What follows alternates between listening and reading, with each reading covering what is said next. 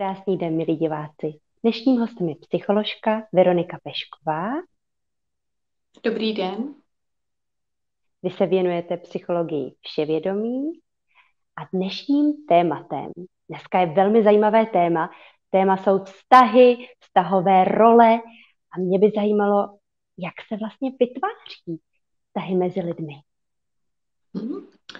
A to, jak se vytváří vztahy mezi lidmi, je velmi dlouhý proces, který vlastně nám určuje naše dětství a které se potom promítá i do té dospělosti. Takže pokud máme vlastně v dospělosti nějaký problém ve vztahových dynamikách v rámci lidí, ať už jsou to partnerské vztahy, kolegiální vztahy, kamarádské vztahy, tak bychom se vždycky měli podívat na to, jakým způsobem jsme vlastně do toho bodu došli, aby jsme potom věděli i co s tím, takže vlastně, když bych to měla vzít od toho začátku a podívat se do toho dětství, co ve které chvíli je pro to dítě důležité a tím pádem potom i do, pro toho dospělého člověka do toho vztahu, tak už je vlastně to prvopočetí, protože vlastně žena jako matka je první zkušenost, kterou dítě má. Takže první zkušenost vlastně, ať je to muž nebo žena, máme se ženou. Takže pokud se vlastně tvoří v břiše mámy žena, to znamená, že přejímá ženské chování. To znamená, že táta nemůže nikdy ženu naučit, jakou být ženou. Takže žena, holčička, kopíruje vlastně programy a vzorce chování od té mámy. Čili dívá se na ní, co dělá, jak se chová v určitých situacích a kopíruje její programy. Takže vlastně žena, máma, učí své dítě ženu, jakou být ženou, jak se mít ráda jako žena, jak se chovat ve společnosti jako žena, ale i potom, jak se chovat vlastně k mužům, jakým způsobem k ní přistupovat ve společnosti, anebo i v rámci partnerského života. Otec, muž, učí dítě opačného pohlaví, čili v našem příkladu holčičku úplně něco jiného.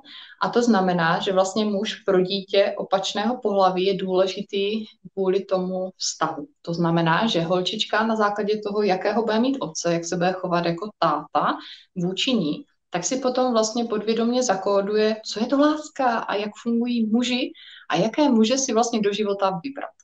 Takže všechny principy, které vlastně ten táta jí ukáže, jak se k ní chová, co dělá, jak se chová k té mámě, tak vlastně učí tu holčičku, co je to láska, jak láska funguje, jakým způsobem tu lásku vnímat, jak ji cítit, jak ji chápat a jaké muže vlastně budou pro ní hm, chemicky přitažlivý, čili dá se říct voňavý, aby ji vlastně vnímala, aby je vnímala dobře a v pořádku. Tohle to se vlastně kóduje od toho prenatálu do zhruba 3 až 4 let. Potom vlastně se začne tvořit kognitivní logické myšlení a ten človíček, který je, vlastně začne ty věci vnímat i z pozice logiky, začne nad nimi přemýšlet. Jak to je, jak to není, začíná vnímat okolí kolem sebe, jak to mají kamarádky, jak to mají ostatní lidé, jak se to děje v té školce a začíná tím přemýšlet. Takže se to dítě začne vyptávat na věci a začne si dělat obrázek o tom nejenom skrze vlastně ty programy a emoce, které jsme si zakódovali, ale i skrze to logické myšlení. Takže v tu chvíli je důležitý jak rodič máma, tak vlastně rodič ten otec, protože oba dva pořád určují hodnotu toho, jaká být žena nebo jaký být muž, pokud je to chlapeček, a jak se vlastně chovat v té společnosti. Potom docela zásadní bod je v rámci sexuálního vnímání a sebelásky, sebehodnoty a sebedůvěry, a to je puberta, kdy vlastně úkolem puberty, to uvíme, je vymanit se z té role těch programů a toho rodiče. Takže puberta je nesmírně důležitý aspekt, i když rodiče v rámci tohoto období jsou spíše smutní a zklamaní, protože najednou vidí, že to dítě se začne chovat jinak a dělá věci jinak. Ve skutečnosti je to ten nejdůležitější prvek, který je, protože kdyby jsme si tou pubertou neprošli správně a neprožili a nevymanili bychom se, tak bychom byli pořád hodné holky a byli bychom pořád hodní kluci a v dospělosti bychom vlastně pořád všechny poslouchali. Ono je to v dětství fajn, jako by chtít se rozdat v rámci té čokolády, ale v dospělosti, když se ze všeho rozdáte, tak nebudete nic mít. Takže to, co vám funguje vlastně v dětství, ty programy a za co jste oceňovaní, jsou fajn a hezký, ale v dospělosti vám nefungují. A právě k tomu slouží ta puberta, abyste našli svoje vlastní hodnoty, to, co byste chtěli a jakým způsobem byste vlastně chtěli v té společnosti vůči těm lidem fungovat. No a v rámci opačného pohlaví zase je nejdůležitější pro tu sexualitu rodič toho opačného pohlaví. Takže pokud v našem příkladě ta holčička vlastně začíná vnímat sama sebe, potkává se s tou menstruací, tak vlastně ten otec, když jí dává správnou hodnotu o tom, jaká je, jak se vnímá, jak se chová a že je vlastně hezká, tak to dítě si správně kóduje, že vlastně muži jsou ti podporující, že je správně, když ten muž eh, vlastně ocení, pochválí a potom nemají ty ženy problém vlastně přijmout tu poklonu, pochvalu a nemají problém vlastně v tom sebevědomí vůči opačnému pohlaví. To stejné platí, když je vlastně to dítě muž, tam je zase důležitá maminka, čili opačný pohlaví rodič, která by vlastně měla určovat tu hodnotu tomu chlapečkovi, který vlastně začíná přicházet na to, že je muž a měla by ho vlastně oceňovat, měla by ho vlastně pochválit za to, jak vypadá, jak se mu to daří. Tady je však problém, že velmi často ty děti nevypadají, jak by rodiče chtěli, netvoří jim ty představy, oblíkají se jinak, mají jiné hodnoty a spíš než k potvrzení naší sexualitě a tím pádem zdravému vývoji do toho vztahu, spíš jsme znehodnoceni za to, jak vypadáme, jak fungujeme, co si o sobě myslíme nebo co si oblékáme. Namísto toho, aby nás to rodiči nechali zkusit a jenom ty rodiče s námi byli, tak nás někdy často velmi v tom znehodnotí. Což se samozřejmě zakóduje a potom v dospělosti, když jsme v partnerských vztazích, tak to potom funguje tak, že vlastně jsme zvyklí, že nás někdo znehodnocuje, vnímáme to, že to vlastně je asi normální a tím pádem i potom my znehodnocujeme bez problému i ty druhý lidi. Tohle ti nesluší, to si neoblíkej, to si nekupuj a vlastně jak kdyby si děláme vzájemně ty rodiče v tom vztahu.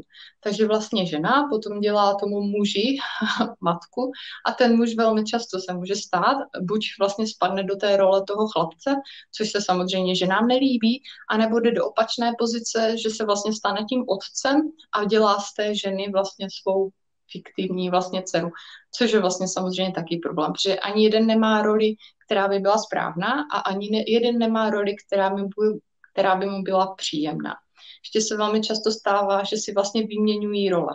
Jo, že žena jde vlastně do té tvrdosti a nasadí si vlastně ty kalhoty a chce řídit tu domácnost přesně tak, jak to viděla v rámci té mámy, která se takhle chovala k tomu muži.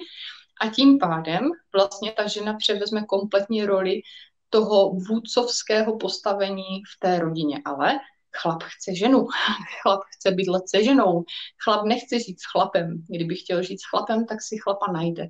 To znamená, že vlastně muži tamhle nejsou šťastní a spokojení a začnou hádky, začnou konflikty, začnou se hádat a začne být vlastně problém. Takže tohle všechno vlastně způsobí ta puberta, pokud se tam špatně vyvineme.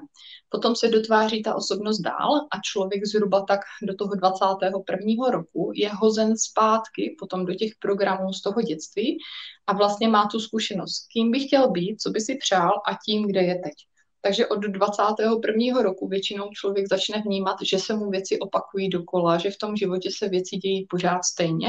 A dá se říct, že zhruba do toho 21. roku má takovou pohodu, je sebevědomý, nic neřeší, je takovej free, prostě není nějak ohrožený. Ale čím ten člověk je starší a vlastně dotvoří se ta osobnost, je ten člověk hozen na začátek do těch programů, protože je vlastně připravený už je zpracovávat a je vlastně skrze ty zrcadla přinucený s těmi programy nějak jednat, zacházet, právě proto, aby ty vztahy s těmi lidmi, které má, byly vlastně plnohodnotné, byly kvalitní a hlavně byly založené na nějaké spokojenosti v obou stranách a na nějakém vlastně slušném jednání a štěstí, nebo i lásce, pokud se bavíme o vztazích vlastně v rámci partnerství. Kdy se dovytváří osobnost? Mhm. Kompletně osobnost se dá říct, že vlastně není nikdo vytvořená nikdy, protože si do 21. roku jsme vlastně nějak postaveni zpátky na začátek ale od toho 21. roku už se máme dotvořit vlastně sami za sebe. Už jsme hozeni do toho, podívej, tohle jsou tvoje programy, podívej, takhle funguješ v tom vztahu, podívej se na sebe, tohle děláš, tohle děláš špatně nebo dobře a cílem je stát se někým v tom vztahu, abys byla šťastná, spokojená a měla ten vztah naplněný a plnohodnotný. Spoustu lidí však v těch vztazích vlastně chtějí hledat vinu na druhém člověku. Chtějí ho obvinovat za to, že oni se nějak cítí, obvinují ho za to, že něco jim způsobuje, nebo že něco dělá nebo nedělá. Čili velmi často v těch vztahových dynamikách vidíte, že jsou založené na poroučení anebo na přetváření toho člověka. Vychovávají se vzájemně ti lidé do toho, co oni si myslí, že je správně, do toho, co oni si přejí, namísto toho, aby se vlastně vzájemně respektovali. Čili chybí těm vztahům hodně respekt. Takže se dá říct, že na těchto věcech se pracuje vlastně potom celý život a daří se to víceméně v určitých eh, etapách toho života více či méně dobře, protože někomu se to daří, protože to vnímá důležitě a chce s tím pracovat, jestli toho vědomí a ví, že tohle ovlivňuje jeho život a vztahy. A někdo třeba k tomu nedozraje nikdy a prostě takhle to v tomhle životě má a třeba ani s tím pracovat nechce, protože to chce mít postaru a nechce se stát vědomým tvůrcem toho vztahu, ale chce prostě mít ty programy, ve kterých se vlastně cítí bezpečně a ve kterých vlastně nějak to má, má tam jistotu, má tam pocit klidu a sice je to nespokojený, je to k ničemu, bude si nadávat a brblat, ale pořád to bude vnímat nějak bezpečně. Takže přijmout zodpovědnost za vztah s lidmi, za to, co já tvořím a s čím já přináším, jakou energii přináším do toho vztahu, jaké emoce tam dávám, být zodpovědný za to, co vytvářím v těch vztazích, ať už partnerských, kamarádských, kolegiálních, je vlastně obrovské jako už vědomí, je to určitá úroveň uh, sebeanalýzy, že si uvědomuji, že já jsem zodpovědná za všechno, co se mi děje a pokud se mi děje něco, co nechci, tak je to proto, že já vlastně mám v sobě něco, co mi neumožní mít ten vztah kvalitní, hezký, šťastný, romantický, něžný nebo jakýkoliv já vlastně chci. Jaké typy druhy vztahů existují. Tím myslím třeba rodič, dítě, mm-hmm. a potom třeba milenci. Otázka. Vlastně eh, těch typů vztahů je nespočet. V podstatě by se dalo říct, že s každým člověkem máte nějaký vztah. I když jdete do obchodu, máte vztah s prodavačkou, byť třeba na pět minut, ale máte. Ale obecně se to dá zhrnout do nějakých, jako, nějakých kategorií, kdy vlastně je to vy jako člověk, který je rodič versus dítě, vy jako člověk eh, versus rodinní příslušníci, čili rodiče, sourozenci, a vy jako člověk versus partner, partnerka v rámci vašeho života a vy versus sám sebe a kamarádský vztahy. Čili jsou to tady tyhle ty nejhlavnější roviny. Samozřejmě existuje i rovina vy jako pracovník v rámci vztahu se šéfem, ale to jsme řešili v jiném videu, a na které asi eh, bude nějaký možnost odkazu, něco takového. Co, co nejčastěji řeší vaši klienti v partnerských vztazích? Jaké jsou takové nejčastější problémy, se kterými se setkáváte? Mm-hmm. Kdybych měla pojmenovat nejčastější problém, který vidím nejenom v rámci klientů, ale i dnešní doby, tak je to, že bohužel ženy šly hodně do tvrdosti a neuvědomují si, jak se chovat ke svým partnerům, aniž by jim dělali matku. Proč? Tím, že vlastně oni pozorovali v dětství ty mámy a kopírovali jejich programy, tak vlastně máma se chovala jako máma, protože byla máma. Ale problém je v tom, že vlastně, když já nakopíruju program té mámy, tak vlastně nevědomě potom do něho spadnu i v té dospělosti vůči tomu svému partnerovi. Takže vlastně velmi často ženy padají v těch vztazích do toho, že snaží se ty muže kontrolovat, protože říkají, když ho nebudu kontrolovat, on to neudělá. Snaží se jim vlastně říkat, co mají dělat, co nemají dělat, co je lepší, co není lepší, co by měli koupit, co by neměli koupit. Čili jakoby přeberou kompletně zodpovědnost za všechno myšlení a vnímání toho vztahu. Jako kdyby nenechají ty muže být tím mužem. A samozřejmě ty muži jim to strašně vadí, že ty ženy je pořád kontrolují, že hlídají, dvakrát za den volají, už tam byl, už to zařídil, nebo to koupil, že vlastně mužům strašně vadí, že ty ženy jim nevěří, že jim nedůvěřují. A tím pádem přestávají chtít vůči těm ženám být aktivní, přestávají chtít ty věci dělat, protože vlastně ta žena spadne do té kontrolující pozice, což je mužská energie, takže převezme na sebe tu mužskou energii, ty kalhoty a muži nezbyde nic jiného, než buď se upozadit a jít do té ženské energie, což se samozřejmě ženě nelíbí, anebo prostě zůstane stát, protože chce být mužem a pak jsou vlastně často v těch stazích ty hádky nebo konfrontace nebo konflikty, kterých se vlastně lidé bojí. Takže největší problém, který já tam vidím, je, že vlastně žena není ženou v tom vztahu a muž není vlastně tím pádem mužem. Takže ten muž vlastně spadá do té role spíše toho, co poslechne, aby měl klid. Často slyším od těch mužů, já radši to udělám, já chci mít klid, já radši poslechnu. Mně to za to nestojí se hádat, mně to za to nestojí. A velmi často ženy slyším, jak říkají, ale já mu to musím říct, já mu to musím připomenout, protože když bych mu to nepřipomněla, tak vlastně on by to neudělal a já mu nevěřím. Už se stalo několikrát, že na to zapomněl, že to vlastně neudělal. Takže tady ta kontrolující pozice těch žen, do které ty ženy jsou vlastně dostány, a tím, že si neuvědomí, že každý člověk má jinou vlastně časovou reakci na to, kdy tu věc udělá. Takže ten muž vlastně, když to neudělá hned, neznamená, že to neudělá nikdy, ale ženy bohužel jsou zvyklé vlastně ty věci dělat hned nebo být rychlejší, protože mají ty děti a musí se postarat, nemůžou vlastně počkat, tak přesně tohle to pak chtějí po těch mužích, aby vlastně to bylo hned, aby se vlastně jako by ty muži chovali jako oni ale to ve skutečnosti nejde a spíše vlastně ten vztah to rozděluje, spíše je to rozpojuje, než aby je to dohromady scelovalo. Takže vlastně muž potom začne utíkat, začne mít strach z té ztráty svobody a nechce se třeba vázat, nebo často vidíme ty muže, že nekomunikují s těmi ženami, že těm ženám píšou občas, nebo se nechcou ženit, nechcou mít děti, že vlastně ty muži se nechcou zavázat, protože oni mají strach z té ztráty svobody, že vlastně cítí, že ta žena jim bere tu svobodu, že je vlastně nenechá být nimi a že jim vlastně krade tu svobodu tou kontrolou. Takže ženy by si měly zpracovat kontrolu, obrovský aspekt kontroly, který mají, toho výkonu a skrze ten výkon samozřejmě velmi často mají programy i manipulace nebo ovládání, takže měli by si zpracovat tady ten kontrolující aspekt v tom vztahu vůči mužům, kterým brání být ženami vzdát se představy, že to musí být do určitého času nějakým způsobem. Uvědomit si, že ten člověk to může udělat kdykoliv, jakkoliv a může to být stejně dobře a kvalitně. A měli by zapracovat na největším stínu, které ženy mají, a to je důvěra. Jo, důvěřovat mužům, že to udělají, důvěřovat jim, že to zvládnou, být v jiném časovém horizontu, než oni si myslí, ale že to není špatně. No a co se týče mužů, tak ti vlastně by potřebovali zpracovat si ten strach z té své ten strach z té ztráty svobody. Tím, že v tom dětství jsou zavázáni té mámě, a co si budeme povídat v tom dětství, velmi často vidíme, že třeba mají ty děti rozdělený, jo? že táta se věnuje více jednomu dítěti, máma se věnuje více druhému dítěti, pokud těch děti mají víc. A velmi často vidíme, že třeba se to rozdělí tak, že máma je více vlastně přimknutá k tomu synovi a táta je více přimknutý k té dceři. Takže když vlastně ten malý kluk zažije ten pocit, že máma je k němu víc napoutaná a pokud té mámě nefunguje kvalitní partnerský život, nemá kvalitní vztah a nemá si do koho napromítat ty emoce, mít kvalitního partnera jakoby k sobě, tak vlastně bohužel ty emoce musí někam dávat a dává je do toho syna. Takže vlastně ho staví do role, kdy ten syn je vystavěný trošku jiným emocím, než by ve skutečnosti musel nebo než by měl. Takže to dítě se začne cítit vlastně nesvobodně, ovládané tou mámou.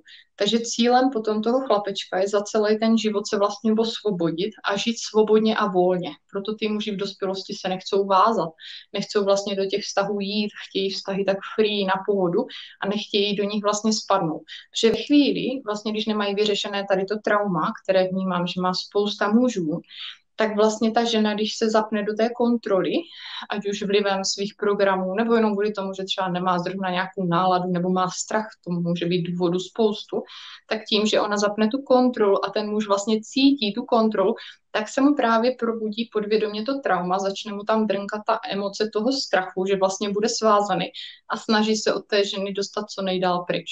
Takže už důležitá je ta dynamika v rámci toho začínajícího vztahu. Uvědomit si, co je to být žena, jak to vypadá, když je žena a co to je být muž a jak to vypadá být muž, jak je to cítit být muž a potom si vlastně zpracovat tady ty největší stíny, které vlastně můžeme být, které vlastně můžeme mít tím vlivem výchovy, která nebyla úplně správně, protože ten rodič to třeba neuměl tak, jak my bychom to potřebovali, anebo jednoduše jenom proto, že i ten rodič náš byl vychovávaný stejným způsobem, jakým vychovával potom on nás. Takže tohle je takový největší problém téhle doby, kdy ženy jsou vlastně tvrdé a stěžují si na to, že muži nejsou vědomí, ale vlastně my jim nedáme ani prostor, aby byli vědomí, protože chceme, aby byli vědomí skrze nás, jako naším způsobem, tak jak my si myslíme, že to je správně.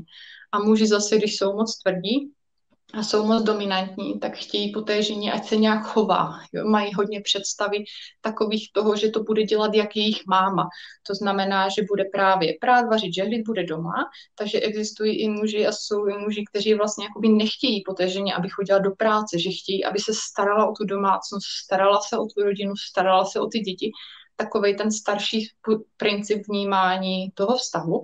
A ten muž vlastně přijme plně tu hodnotu za to, že je muž, začne se chovat jako muž, vydělávat ty peníze, nosí dom ty peníze ale v tu chvíli, když vlastně nosí ty peníze, tak vlastně chce mít ten komfort doma zajištěný. Takže ani takhle si neuvědomuje, že vlastně bere ženě tu svobodu být sama za sebe, že ji vlastně staví do role spíše matky než čehokoliv jiného. A ta žena má pak na sebe několik rolí, takže ona je vlastně uklízečka, najednou je kuchařka, najednou je pečovatelka o děti, má být partnerka, zároveň má být milenka a vlastně dostane ji do pozice, kdy ta žena dělá všechno, protože ten muž vlastně se stará, takže žena má pocit, že musí tady ty věci dělat, ale ve skutečnosti vlastně je chycená do takové zlaté klece, kde není šťastná. Takže ani tenhle vlastně způsob není pro ty ženy ve finále šťastný a zjišťují, že v nich nejsou spokojení.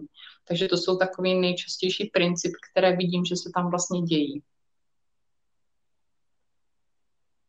Jak jste uh, z této zlaté klece dá dostat. Uh, máme začít hrát jinou roli v tom vztahu, myslím tím třeba nebýt uh, uklízečka, kuchařka, všechno v jednom, ale třeba si vybrat, uh, jsem žena, jsem milenka, nebo mm-hmm. mohla byste to nějak rozvést? Co s tím?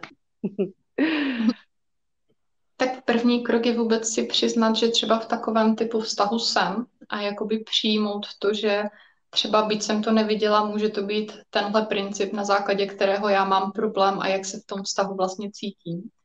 A potom vlastně nastavit si s tím můžem ty hranice. Pojmenovat mu, že vlastně to, co ode mě chce, že je v pořádku, že ho vlastně chápu, ale že to není se mnou kompatibilní. Že vlastně to není to, co chci já, že rozumím tomu, co po mně chce, že rozumím tomu, za jakým účelem a že on by vydělával jenom ty peníze a já bych se starala, ale že vlastně v tom nemůžu být, protože v tom vlastně nejsem šťastná. Čili vlastně pojmenovat tomu muži ty hodnoty, které já chci, co bych si vlastně přála a vysvětlit mu, jakým způsobem vnímám já, že je pro mě kvalitní vztah, jak bych si přála, aby pro mě ten vztah vypadal, abych se v něm cítila šťastně. A samozřejmě to pak se dostaneme do nekompatibility, protože ten muž to chce takhle, takže nám to pojmenuje, že to chce jinak a narazíme na to, že každý jsou úplně na jiné straně vlastně té mince. A cílem potom je vlastně hledat nějaké win-win scénáře, nějaký vlastně uspokojující výsledek, ve kterém budou šťastní oba dva Jo, čili ano, já jako žena to chci nějak, ale zároveň pokud mám pojmout toho muže do lásky, tak vlastně chci, aby i on byl šťastný. Ale pokud já se přizpůsobím a budu to dělat, jak chce on, nemůžu já být šťastná. Čili tam je to pak jakoby vyrovnávání té sebelásky, čili poslouchat sebe a zároveň té lásky, kterou já jsem ochotna tomu člověku dát. Což samozřejmě nejde, pokud ten druhý člověk by to nedělal. Čili ve vztahové dynamice v rámci vztahu nemůžete pracovat sami ze sebou, protože nejste sami za sebe. Jste vlastně ve vztahu a vždycky musíte fungovat jako pár, řešit ty věci jako pár. Čili to není problém jednoho člověka. Pokud jste v páru, máte problémy oba dva. Jo, vždycky je to o tom, že oba dva se podílíte na tom, jak je to vytvořené, oba dva vnášíte do toho nějaké emoce, vnášíte do toho nějaké uvědomění, nějaké programy, vnášíte do toho nějaké vzorce chování, nějak se chováte a tahle ta věc vlastně vytvořila potom ten princip toho problému, ve kterém se nacházíte, ve kterém třeba nejste šťastní. Takže sama žena za sebe pojmenovat, přiznat si, popřemýšlet, co by vlastně chtěla, jak by to chtěla jinak. Velmi často lidé vlastně ví, co nechtějí, ale neví, co chtějí, neumí pojmenovat, co by si vlastně přáli. Takže přijít na to, co já vlastně chci, co v tom chci. A to může mít každá žena něco jiného. Třeba některá se chce vrátit do práce, některá žena chce vlastně zůstat doma. Ale ve chvíli, kdy vlastně si s tím partnerem popovídáte a budete hledat ty win-win scénáře, je potřeba si uvědomit, že nemusí to být vždycky tak, že to musí být naplněno jenom tou ženou. Jo? Ten, může být, ten muž může být pořád šťastný a spokojený, ale v tom, že třeba uklidí paní uklízečka, že neuklidí ta žena, nebo uvaří někdo jiný, jo, třeba může přijít někdo a uvařit, nebo můžeme si nechat dovést obědy, nebo koupit. Těch možností je vlastně jako nespočet.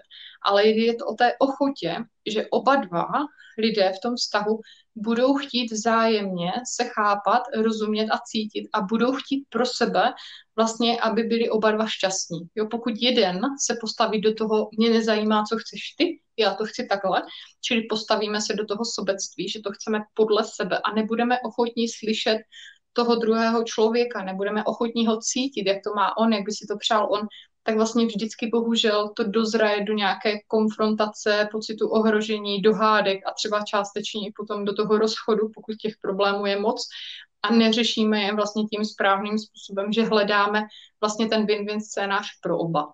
On ten win-win scénář je takový zajímavý, že vlastně nikdo v tom nezůstane opodál, že každý se cítí jako v tom dobře, ale najít ho někdy bývá umění, protože může to trvat dlouhou dobu, než vlastně vytvoříme ten win-win scénář. Není to jednoduchý na něho přijít, ale už jenom to, že spolu komunikujeme, že se o tom bavíme, že to vlastně hledáme, že vlastně nám to není jedno, že ten člověk vidí, že chceme pro něho to dobré, ale nemůžeme jít proti sobě, tak už jenom tady tohle to vlastně dává v tom vztahu obrovskou podporu, že tam ten člověk se mnou je, že i když v tu chvíli si myslíme něco jiného nebo chceme něco jiného, že to nevadí, že vlastně ten výsledek je dopátratelný, že to je dohledatelné, že vlastně můžeme to vytvořit tak, aby to bylo ku prospěchu, pokud vlastně chceme, aby to bylo ku prospěchu.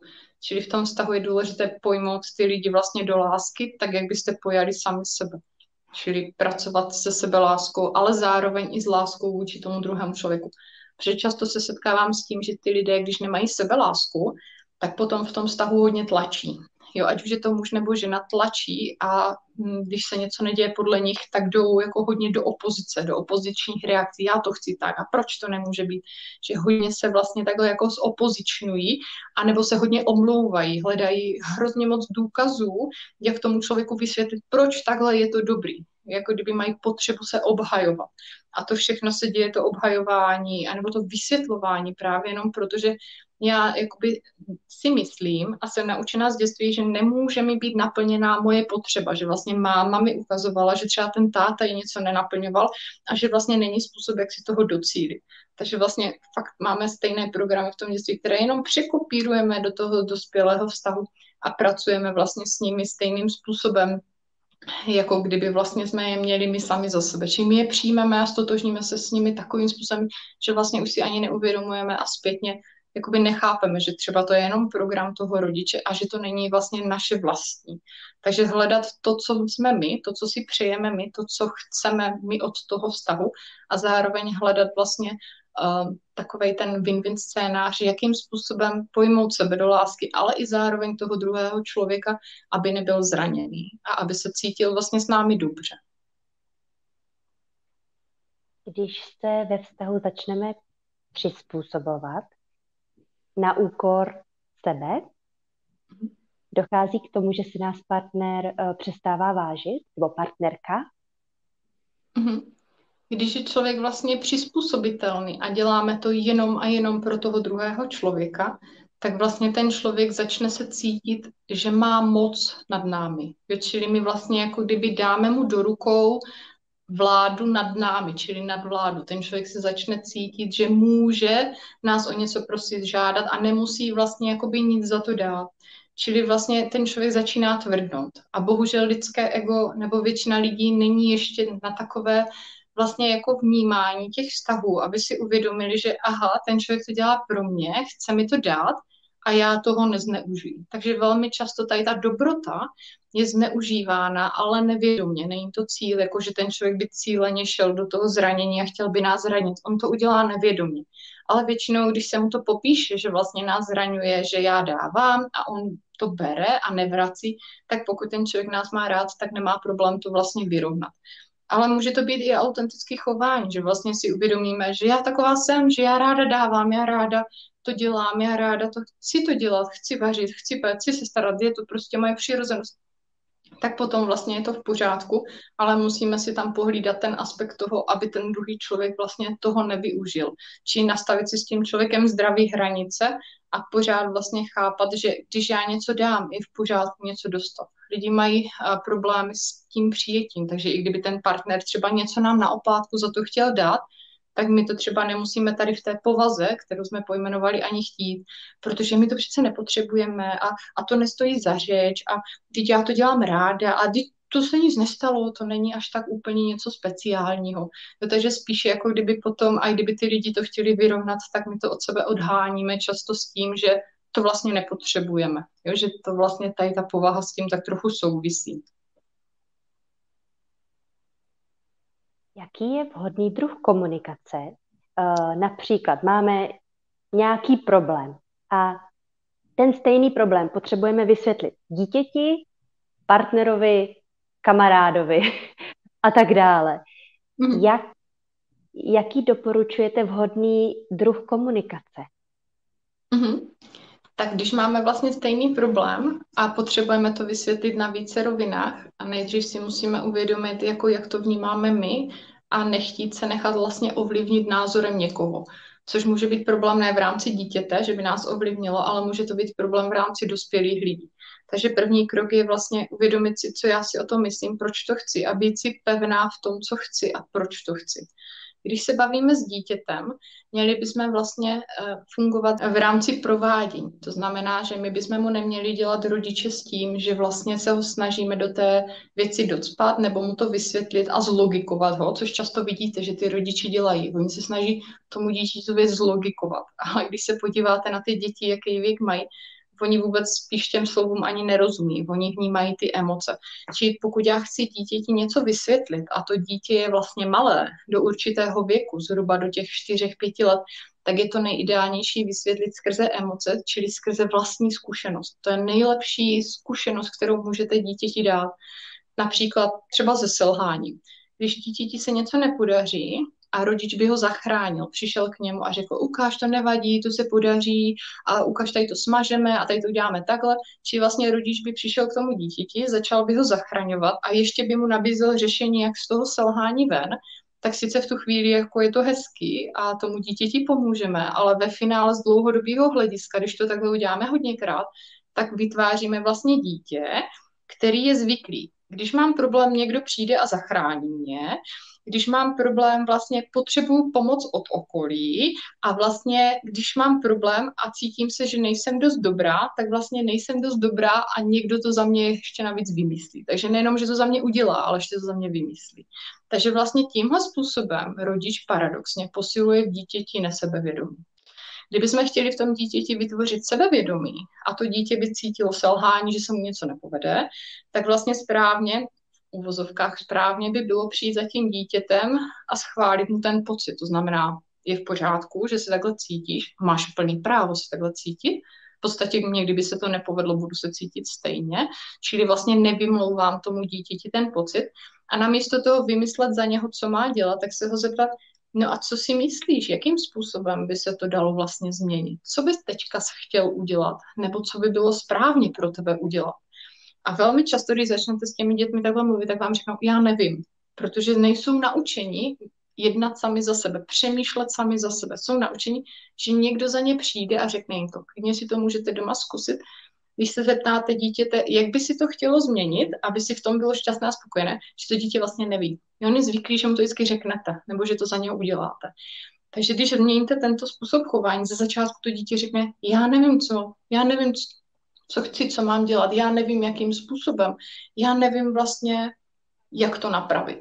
A když vlastně mu neporadíme a necháme ho v tom, jenom tam s ním budeme, v tom jeho selhání a vlastně budeme jenom tam s ním v té emoci, což úplně stačí, tak to dítě se začas naučí, že vlastně mě nezachrání ten rodič, ale je tady se mnou, on mě podporuje. Čili já se můžu cítit jakkoliv na nic, potřebuju přijít na to, co potřebuju, aby mi to bylo splněno vydat se ten krok do toho naplnění, splnit si to a zároveň jsem vlastně jakoby v těch emocích s někým, kdo mě podporuje a kdo mi pomáhá. Čili já nezachraňuju to dítě. Namísto toho, když vlastně selhání třeba se stane partnerovi a přijde za vámi partner a řekne, něco se mi stalo v práci, neprodal jsem tolik aut, nebo neviděl jsem tolik peněz, co jsem předpokládal, čili promiň broučku, nemůžeme jít na dovolenou, čili cítím se, že jsem selhal, tak v podstatě, co udělá taky žena velmi často vidíte, že se k němu postaví jako k tomu dítěti. Snaží se ho zachránit. A to tak není, a dítě je to dobrý, a dítě je to v pohodě, a, a tak to vymyslíme jinak, a tak třeba vybereme peníze. Čili jsme naučeni se fakt zachraňovat z těch emocí, zachraňovat se v těch problémech. Nejsme naučeni být s tím člověkem jenom přítomní. Vadí nám, když vlastně vidíme někoho, že je v nějaké nepříjemné emoci, máme potřebu zachránit což není moc podporující, protože ve chvíli, kdy ta žena vlastně tomu muži jako zachrání a řekne mu, to nevadí, uděláme to takhle, je to takhle, vymyslíme to takhle, tak sice tomu muži jako pomůže, ale ve skutečnosti se ještě zvětší propas mezi tím, co cítí, čili že je k ničemu, že selhal a mezi tím, že to za něho někdo vyřeší a mezi tím pocitem, že by byl dost dobrý. To znamená, že je mnohem lepší opět zůstat s tím mužem, být s ním jenom v té emoci, schválit mu ten pocit, ne jako dítěti, že vlastně jako rozumím ti, chápu tě, ale prostě jenom s tím můžem být, jenom ho vnímat. A třeba se ho zeptat, a cítíš, co teďka cítíš, třeba cítíš se, že selhal, nebo pomoci mu vlastně pojmenovat skutečný problém, který tam je, že nejde o ty peníze na dovolenou, že nejde o to, kolik vydělal, ale že tam jde o něco, podstatnějšího, co leží pod tím povrchem. Čili pomůžeme tomu muži nebo tomu dospělému člověku, i té kamarádce, kamarádovi pojmenovat ten problém vlastně pravým jménem. A ve chvíli, kdy už ten člověk pojmenuje tu věc vlastně pravým jménem, čili nebude se zabývat penězi, ale vlastně uvědomí si, že ten problém není o penězích, ale o tom, že se cítí, že to nemá pod kontrolou, nebo že se cítí, že selhal, tak potom vlastně už mu můžeme nabídnout, že můžeme ho naučit nějakou metodu, nebo mu můžeme říct, co s tím má dělat, anebo jenom s ním v tom být. Takže vlastně u dospělých lidí rozklíčováváme a pomáháme jim přicházet na to, co leží vlastně pod tím povrchem, protože v tu chvíli oni jsou vůči tomu slepí a nevidí. Zatímco u dětí vlastně my jsme měli vnímat tu emoci, které to dítě vysílá, měli bychom to umět pojmenovat a jenom v té emoci s ním vlastně zůstat. Čili já to pojmenovávám za to dítě, čili aha, vidím, že si selhal, cítíš selhání, to v pořádku v tom být. Zatímco u dospělého mu to vlastně nepředkládáme vedeme ho tak, aby jakoby pojmenoval sám to, co mu je. Protože i to pojmenování, to, jak se ve skutečnosti cítím a co leží pod tím povrchem, bývá vlastně už cesta do toho léčení, bývá ta cesta vlastně k tomu uvědomění, co s tím vlastně ve finále dělat. Takže ten člověk potom, dítě si vymyslí, co s tím a vlastně prožije tu zkušenost, že selhání ne, nevadí, zatímco dospělý člověk eh, pojmenuje to selhání a zpracuje si selhání, což je vlastně jenom zase nějaká zkušenost z dětství, nebo je to jenom trauma, které jsme prožili. Takže cílem vlastně u toho dospělého člověka je potom zažít emoci opaku skrze nějakou transformaci, kterou vlastně můžeme na sobě udělat, ať už tím, že jdeme do traumatu, nebo je spousta metod, jak pracovat vlastně sám ze sebou a s emocemi, spoustu nespočet metod a přístupů, jak vlastně ty emoce uh, vyřešit. A potom tím pádem, když já zažiju emoci opaku, ten dospělý člověk ji prožije, tak se může k té věci postavit jinak, udělat jiný způsob chování, jiný program. Čili on sám si nakonec vymyslí ty věci, které my mu řekneme. Čili aha, takže když já budu cítit, že jsem neselhal, že to je v pořádku, tak potom vlastně v našem příkladě s tím mužem, ten muž si může uvědomit, tak můžeme udělat tohle, nebo můžeme eh, vybrat tu knížku, nebo můžeme zvolit jinou dovolenou. No, čili vlastně zase zachráníme, ale pomůžeme. Ještě se vrátím, jak jste říkala, uh, záměna rolí ve vztazích, že se často hraje matka místo partnerky. Máte nějaký konkrétní příklad třeba komunikace? Jak by se to dalo komunikovat z hlediska, když bychom zastupovali roli matky a když mhm. bychom byli partnerkou? Mm-hmm. Tak můžeme třeba klasický příklad, kdy nám partner slíbí, že přijede brzo domů a že nakoupí a že pak půjdeme třeba na tu večeři nebo do toho kina a už se blíží nějaká hodina a vidíme, že vlastně ten člověk nikde není. Nákup doma není, muž není na telefonu a vlastně asi kino je daleko v nedohlednu. V tu chvíli vlastně ta situace celá tu ženu vlastně může naštvat, rozohnit, protože třeba už tu zkušenost má několikrát nebo z dřívějších vztahů, takže vlastně nezůstane ta klidná partnerka, která by respektovala a chápala, ale promění se vlastně do té naštvanosti a do té kontroly. Takže příklad ty ženy často dělají, že tomu muži volají, a kde seš, a proč tady nejsi, a slíbil jsi mi, a hodně vlastně jako tlačí. nenechají si ty věci vysvětlit a nebo jim je to jedno, jako nechtějí vnímat, že se ta situace mohla změnit. Nebo potom, když ten partner přijde dom, tak vlastně mu to začnou vyčítat. A já jsem tady čekala, a já jsem si myslela, a já jsem vlastně tímhle způsobem předpokládala, že když mi to řekl, takže už to znovu neuděláš. Vždyť jsme se o tom bavili tisíckrát. Čili vlastně zase ta podstata není toho, co ta žena vlastně říká, ale proč to říká. A ta žena se cítí vlastně nemilovaně. Čili ženy se vlastně bojí zůstat ženami a partnerkami v tom vztahu.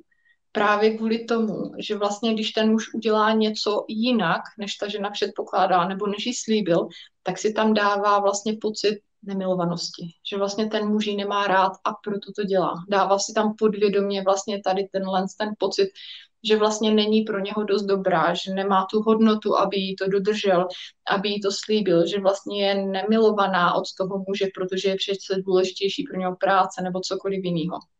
A kdyby vlastně ta žena necítila tyto emoce nebo je měla zpracovaný, protože to jsou vlastně emoce zase toho dětství, toho traumatu, ze kterého to pramení, tak by vlastně bez problému dokázal se v té situaci chovat jako partnerka. Takže ve chvíli, kdyby ten partner přišel pozdě domů a zapomněl nákup, tak by se k němu bez problému postavila, protože by tam nedrnkal ten pocit, který by táhl do toho, nejseš dobrá, nemá tě rád. Takže vlastně by nešla do té opozice a v pohodě by přijala, aha, stalo se něco jinak, nebo platí ten nešek, nebo neplatí, nebo potřebuješ to nějak přeorganizovat. Takže vlastně to, proč se ty ženy stanou v tu chvíli těmi matkami a jdou, jdou do té kontrolující eh, role, do té opozice, je proto vlastně, že cítí nějaký pocit, od kterého utíkají, který jim není příjemný a snaží se tou kontrolou jako dotlačit toho člověka, aby se to nakonec stalo tak, jak vlastně jim bylo slíbeno, aby se nemuseli cítit vlastně tím pocitem. Takže vlastně klíč k toho zůstat ženami je pracovat s těmi emocemi, cítit ty emoce, vlastně zůstat s nimi a pojmenovat si je a pracovat s tím, co je jádro toho problému. Jádro problému není, že ten muž nepřišel domů, že nenakoupil, i když to slíbil. Jádro toho problému je, že vlastně já za A nevěřím a za B necítím se třeba dost dobrá, necítím se pro něho dost hodnotná, necítím se dost milovaná tohle jsou skutečné problémy, ze kterých pak pramení na povrchu vlastně ty reakce těch žen, ve které se promění buď do té role matky, nebo se vlastně zůstanou těmi partnerkami, těmi ženami, kterými mají vlastně být. Samozřejmě ono je to těžké, protože ty programy jsou takový, takový jako hutný, oni tak jako táhnou toho člověka dolů a když vidíme, že ten člověk není doma, ten nákup není doma, tak toho člověka to jako rozohní, naštve ho to, hlavně když ta zkušenost je tam několikanásobná, ale za vším je nějaký důvod, jakoby pod vším leží něco. A my se vždycky potřebujeme podívat, aby jsme vyřešili to něco, se potřebujeme podívat, proč zrovna nás to vede do tohohle typu chování. No a zrovna ta role té matky, ta kontrolující, je vlastně obraný mechanismus. My se tím chráníme. Se tím chráníme od zranění, chráníme se tím před tím mužem, chráníme se tím eh, před tím přiznat si, že třeba by nás neměl rád nebo že bychom nebyli fakt pro něho důležití. Prostě chráníme se, je to ochranná pozice, takzvaný obraný mechanismus, do kterého zapne. No a pokud nám párkrát zafunguje ten obraný mechanismus, že já fakt jako když jdu do té matky, do té kontroly a dotlačím toho muže to nakonec udělat, tak já vlastně získám pozitivní zkušenost za ten tlak, takže vlastně příště ho udělám znovu a zkusím to znovu a příště znovu. Takže kdykoliv vlastně získáme pozitivní zkušenost s něčím, co uděláme, tak se nám ten, to chování napodmínuje a uděláme ho víckrát a častěji. Takže i tohle uvědomění musí být jakoby pro toho člověka zvědoměné, že vlastně pokud já to opakovaně chovám a opakovaně padám do té kontroly a do té role matky, je to proto, protože jsem z toho měla dřív nějaké výhody, něco, se s tím, něco jsem tím získala, něco jsem dokázala, něco jsem vlastně tím vydobila a to něco bylo pro mě vlastně důležité a dalo mi to nějaký pocit, který byl pro mě vlastně zásadní. A komunikace mezi dítětem a rodičem? Mm-hmm. Komunikace mezi dítětem a rodičem a v jakém slova smyslu, nebo jak? Jak správně může dítě komunikovat své potřeby. Mm-hmm. Jo, to by bylo hezky, kdyby mohlo komunikovat velmi často. Teď vidíme, mi to taky došlo. velmi často vidíme, že dítě má svoje potřeby a řekne, mami, já chci tohle, ne, vyber si něco jiného, tak tohle, no to taky ne, ani náhodou. Čili kdyby mohlo dítě komunikovat a bylo respektováno, asi bych za ně byla velmi šťastná a, a byla bych rodičům těčná, ale velmi často potřeba toho dítěte nekoresponduje s potřebou toho rodiče nebo s přejdu... názorem rodiče. Uh, tak řekněme, že dítě už je starší, například uh, už prošlo pubertou, uh, nebo už je dokonce dospělý. Mm-hmm. A jak tak vlastně a... můžeme komunikovat se svými rodiči? A do určitého věku jsme vlastně těmi, co nemůžou si naplnit své potřeby. Tohle, co pojmenováváte už vy, je, že si já dokážu nějak naplnit své potřeby a tím pádem je potřeba změnit ten vztah máma a dítě na rovnocený. Čili já už jsem vlastně něco jako kamarád, kamarádka pro to dítě. Čili už jsme v rovnocené rovině. A dřív v tom sloužily nějaký iniciační rituály, kdy ta žena poprvé menstruovala, tak vlastně celý kmen vlastně udělal oslavu a už nikdy se s tou ženou nemluvilo jako s dítětem, už se s ní vždycky mluvilo jako se ženou. U mužů to bylo tím, že šel poprvé třeba na lov, donesl jelena, když něco ulovil, nikdy v životě už ten kmen s ním nemluvil jako s dítětem, chovali se k němu vlastně dospělým způsobem. Ale dneska bohužel vidíte, že i 70-letá paní jde do domova důchodců za svou 90-letou maminkou a pořád vlastně jí poslouchá, že nám vlastně chybí jakoby opuštění té pozice toho jsem máma a tohle je moje dítě, jakoby přestřihnutí té pupeční šňury, což by se vlastně mělo právě dít v té pubertě, kdy ten rodič by měl pochopit, že to dítě už je mu rovno a měl by se k němu chovat jako rovnocený k rovnocenému.